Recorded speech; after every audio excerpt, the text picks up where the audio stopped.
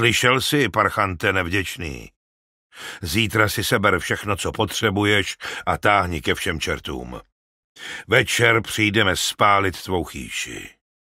Když budeš pořád uvnitř, schoříš s ní. Tomu přece nemůžete udělat, ozvala se Dinara. Je popálený a zbytý, potřebuje se z toho dostat. Jestli ho už zítra vyženete do lesů, bude to pro něj jistá smrt. Vlci ho strhnou za prvním stromem. Opatrně, děvče, zúžil Jahja oči. Můj pravý syn si tě vybral. Ale jestli nebudeš držet jazyk za zuby, jak se na správnou ženu sluší, přikážu Tárikovi, aby se poohledl po jiné. O tohohle syna, ukázal na Iliu, už nezavadíš ani pohledem, rozumíš? Jeho matka uměla kouzly léčit rány a boláky.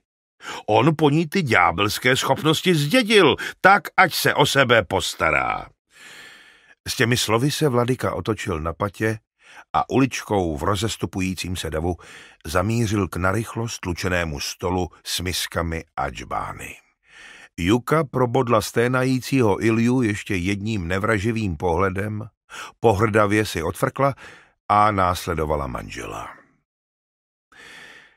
Dinara se sklonila k ležícímu chudákovi, ale Tárik ji surově popadl za rameno a strhl k sobě. Na její tázavý pohled odpověděl rázným zavrtěním hlavy.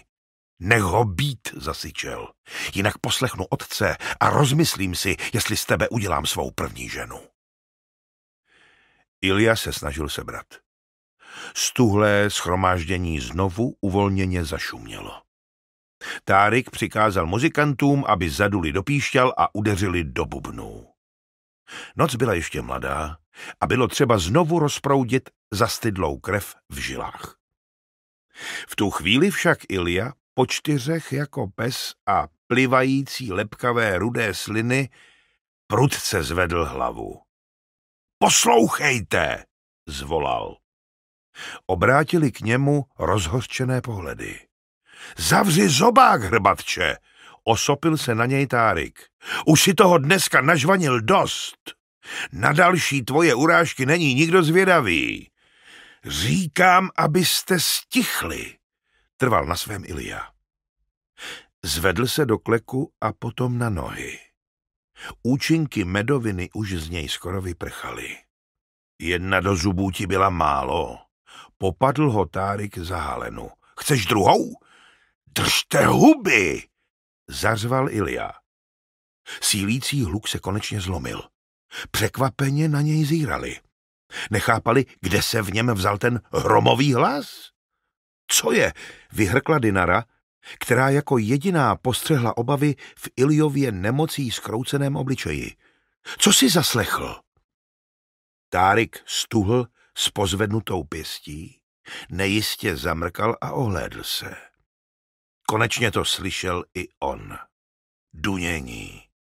Vzdálené, ale rychle sílící dunění. Jakoby k ním vychřice z dalekých jižních stepí hnala zběsilý liák. Jenomže na obloze pořád blikaly hvězdy. Vesničané, mladí i staří, vylekaně otáčeli hlavy. Zvuk se blížil spoza Něpry, od řídce zalesněných pahorků, které ležely mezi vesnicí a velikou řekou Okou. Ať už ale mhouřili oči, jak chtěli, kolem bylo příliš mnoho světla a tak dlouhou chvíli viděli na druhém břehu jen neproniknutelnou tmu. Náhle v té tmě zablikal neklidný plamen.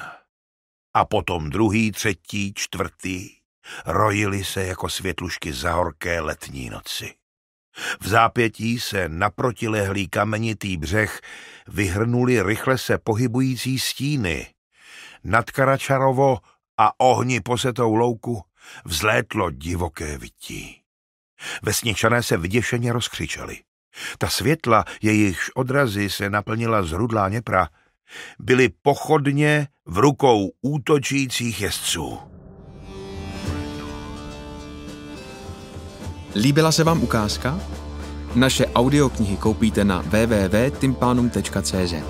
Klikněte na odběr a sledujte nás na YouTube, Facebooku i Instagramu. vždycky audio.